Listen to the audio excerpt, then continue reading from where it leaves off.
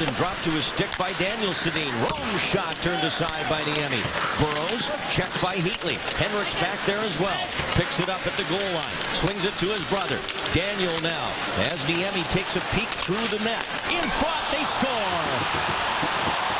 Alex Burrows lifts it past Niemi. 1-0 Vancouver.